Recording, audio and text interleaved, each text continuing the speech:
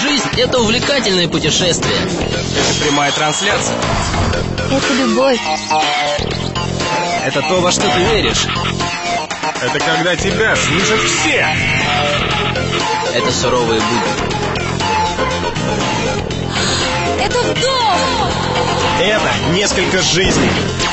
Это когда эмоции переполняют тебя. Это доктор Дизель.